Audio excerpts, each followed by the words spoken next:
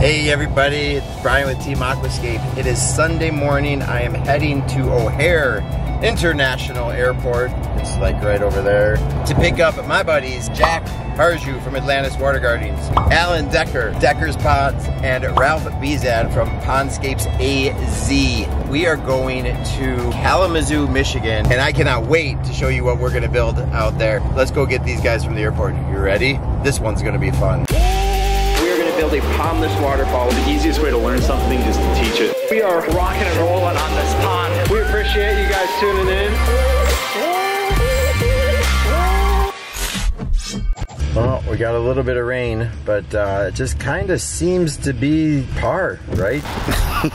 well, we made it. The sun is actually trying to come out and it's been a rainy, rainy, rainy trip the entire way up here. We are here in downtown Kalamazoo. And if you look just over there, right there, we've got Ralph. We found him, got him at the airport. We got Jack, we got Alan, and we got James Whitaker. They're going over everything that we're talking about right now. We've got a pile of sand. You guys, I so badly want to take you inside this fence, show you all the rock, show you the design, but here instead, this is kind of a rough idea of what's going to be done. And really what I want to do is get James out here first thing tomorrow and talk about the children's nature playscape and how James and a collaborative effort have come up with this huge fun area all for children, the entire community to just use and uh, enjoy the outdoors. But tomorrow, after I think some well-deserved rest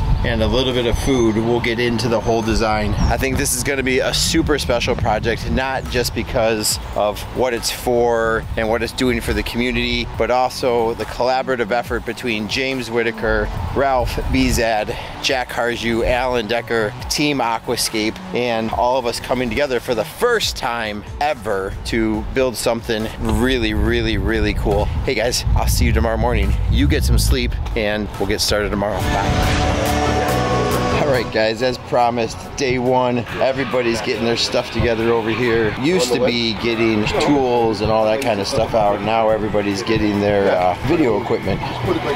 We'll let them be for a sec while I take you guys on a quick little tour. So pretty awesome site, designed by architects, and then James from Only Outdoor Living over there. We'll get him in a second. But we've got about a 70 foot stream coming from up there, meandering down through here here, finishing in a 3,000 gallon pondless system over in here. There's gonna be a bridge roughly about there. If we look here, you can see the elevation change a little bit. So where Alan's standing, or really about where that stake is, right off this cone, is where the end of our reservoir is gonna be. The grade change from there to there is approximately two feet. We can set the top of our reservoir as deep as we want, which will ultimately give us more elevation here, which will then transfer back into these areas areas over in here. So if we come up this way, you can kind of see the paint marks laid out. And then we're gonna do a wetland filter all the way up in here. The key thing we have to do with this wetland filter is then take all of that soil, back it up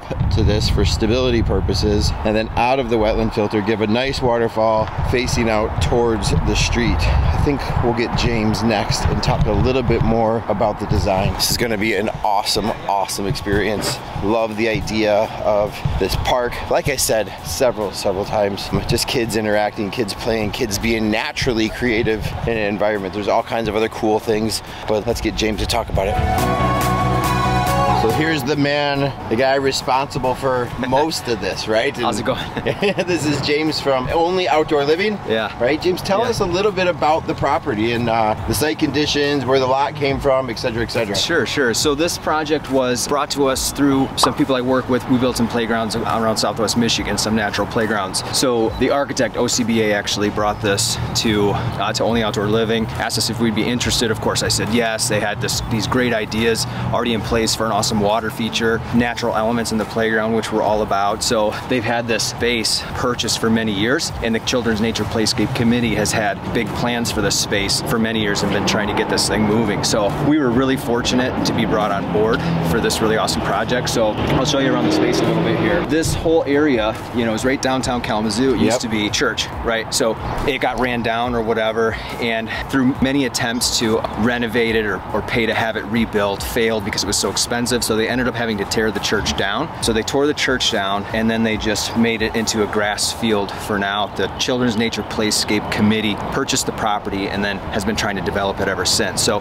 they have this really awesome idea for the space that serves the local community, mostly you know children in the local community. There's 2,500 to 3,000 families within walking distance of this park that don't have any access, any immediate access to nature. So their idea is to build a space, a playground that's ADA compliant and that allows children and people, all people, you know, anybody, Uh-huh. to access nature in a natural way, kind of like you and I. Yeah. You know, when we were kids playing in the woods until dark. Yeah, talk, talk a little bit more about that because I think it's so important. We had a great conversation the other night just about children not, you know, like what was the number one rule when we were growing up? Yeah, the curfew, you know, cur- right. dark. Yeah, Right, be be, home home, by- by, dark. be home by dark, Yeah, right? exactly. And that's just, it was a normal thing. You know, if you're over 40, you know, that if you're playing, you're playing outside. You know, Yep. you're building uh, wigwams out of sticks in the woods or, or catching frogs or whatever Yep. it is, getting dirty. You know, and kids in general these days, I don't think, have that. So this is all unstructured play, right? Uh-huh. It balances risk with natural elements. This is called a double log mash. This is from a company called Nature's Instruments. This is just a conceptual drawing, right? Uh-huh. So so what this actually is is Canadian white oak. They cut it out of the forest, the, the tops of the trees. They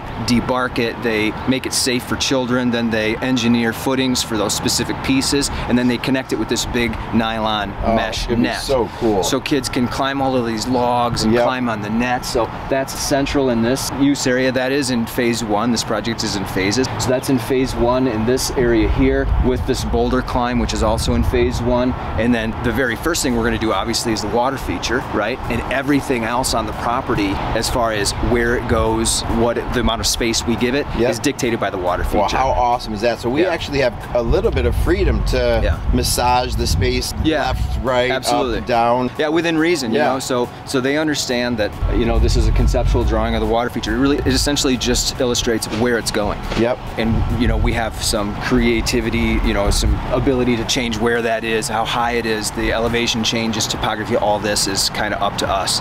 So it's, it's what we do, and they trust us to do that. So that's awesome. We had this conversation almost a year ago, right? Yeah, uh, probably close. right? Yeah, Close when I first got wind of it. So talk a little bit about the team that you've put together to come out here. Well, I wish I could say I put them together. Uh, but, you know, I guess I'm not certain how we all met or came to be, but OCBA, the architects, and RecWise and Only Outdoor Living kind of have just kind of found each other working together on other natural playgrounds, Yep. right? So we kind of had this great teamwork going on where OCBA being amazing, you know, national architects doing like crazy awesome projects. They're great at design and managing all the nuances of commercial and municipal development. And then Tricia at RecWise is a safety auditor for playgrounds. She does, she makes sure everything's compliant, right? Awesome. Because we, we want to build an awesome space, but we also need it to be safe. Yep. You know, and we need it to, uh, we need it to pass inspections and, and just make sure safety is number one. And then, you know, it's a liability, right? So we got to protect the church the best we can. And then, of course, I like to build things with rocks Yeah, and yeah. logs and You stuff. have. Yeah. known each other for a long yeah, time, Yeah. right? So it's kind of a perfect, it's kind of a perfect union. And the Children's Nature Playscape Committee reached out to OCBA because they're, they're just a few blocks away from each other in downtown Kalamazoo. Nice. And OCBA has this been around forever and just, you Yep. know, it's just a,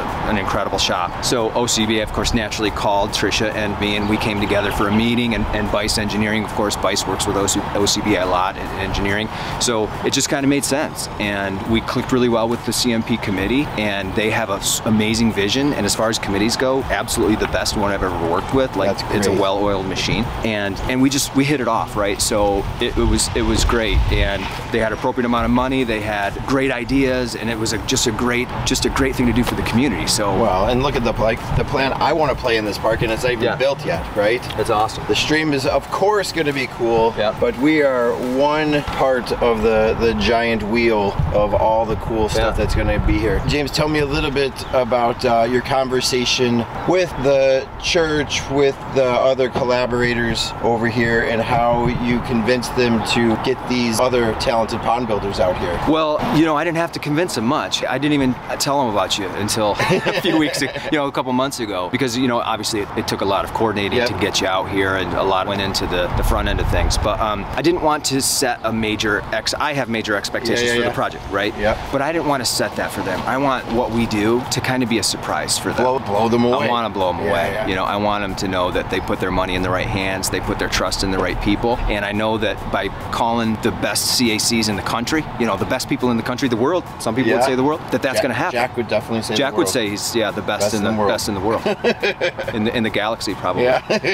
So, and I did, you know, I introduced them, I, I sent some videos along, so they do kind of know what they're getting into, I hope by now, but my hope is to, by not setting some crazy expectation, to totally blow my the. Awesome. That's my hope. Well, let's go get those guys. James, thank you so much. Thank you for the opportunity Yeah, to yeah. do this. Be part of what's going to be a central part of downtown Kalamazoo, Michigan for a very, very, Very long long time. Awesome, Absolutely. man. Cool. Cool. Thanks. All right, so we have a 3,000 gallon reservoir. We've got roughly a 13 by 13 foot hole laid out here. Take all this soil, we'll put it over here. I'm going to get Alan at some point in skid steer, so shuffling it back behind Absolutely. the berm. And I think Ralph and I are going to start building some aqua blocks. When you get bored, you come help us.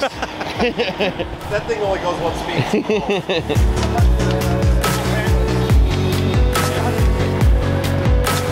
people always ask what are the best working conditions we could possibly think of. And sand is so nice until it's not. And this is what I mean by that. So what happens, you know, this area of Michigan is just all sand. And you're sure inspired to contour the ground exactly the way you want, carve in every single boulder to exact perfection because it's so effortless to move the soil to get that to happen. But the bad thing is, is because the sand is so loose, when you're digging these larger holes, it's so easy to get these cave-ins that happen. So you can see how Jack over here has just kind of like ramped out the sand on that side using the side of his bucket to even try to compact that a little bit. He's starting to do that on this side, but as he gets deeper, especially close to where he's at with the machine, it gets a little hairy because that whole side could want to cave in. So pretty soon he's gonna have to back up and then we'll have to gently try to get these aqua blocks in here without caving all the sides in.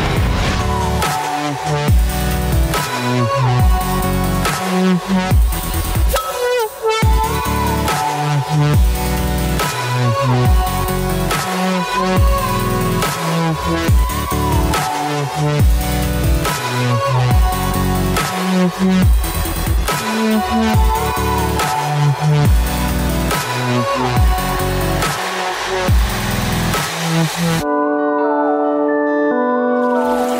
there we go. There is our excavated hole for a 3,000 gallon reservoir.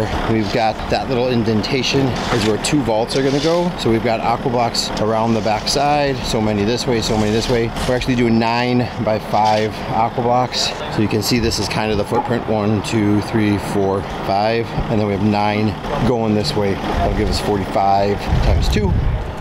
So Jack's just down there fine tuning the hole, making sure things are nice and level. So when we go put the fabric back in and the liner, then all of these things sit nice and flat. And the tricky part about the sand is you can see every little footprint knocks things off from being level. So as long as we get it close, we're pretty good. Jack tends to like to baloo the hell out of it.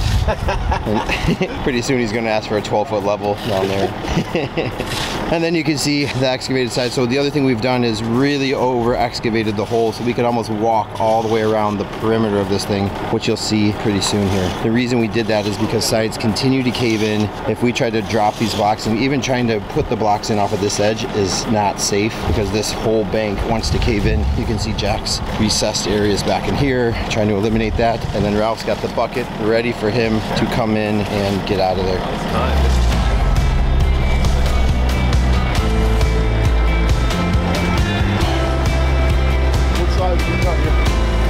There's our 3,000 gallon reservoir. Got just over 90 blocks in there. We got two vaults. We got all the liner folded back over the top so we could backfill the sand back in there. Now we're gonna fold, actually we'll probably leave this like this and start marking out our shape and how we actually want to see that waterfall come into here, interact with everything, kind of locate out the bridge. You can see Alan leveling everything off. The other thing we try to do, we don't want that sand too much higher than the top of the aqua blocks. Then you'll get a little weird fold in there. Fact, you almost want it lower if you can.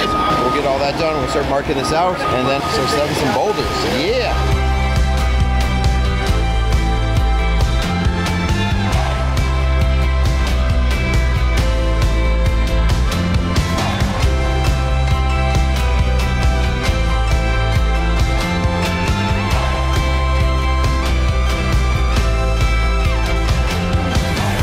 Right? So we took that big 30 by 50, folded it back up over the waterfall, backfilled to everything, cut out our next area. Now we're gonna pull that back. We're gonna see how far we can get. Inevitably, we're doing a seam at some point or another.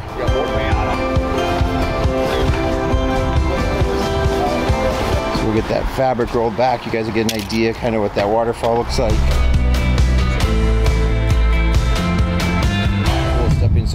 Across. Awesome waterfall coming down into that little cove, depression, frame rocks, support rocks. We got to get some more backing through here. We cut that back and the bridge is just past James, like right about in there. So that's a wrap for today. We have to get some seam tape, we have to get some boards, we have to do all that first thing tomorrow morning. I think we actually did pretty good. We got a 3,000 gallon reservoir put in. We've got waterfalls framed out. We got that whole reservoir backfilled and everything else. We got some support stuff. We got some stairs. Tomorrow we'll be back here, or in your case, next episode, you wanna see how we seam that liner and build another waterfall? You come check us out every Tuesday, Thursday, and Sunday, and we'll keep showing you more and more of awesome project. Bye.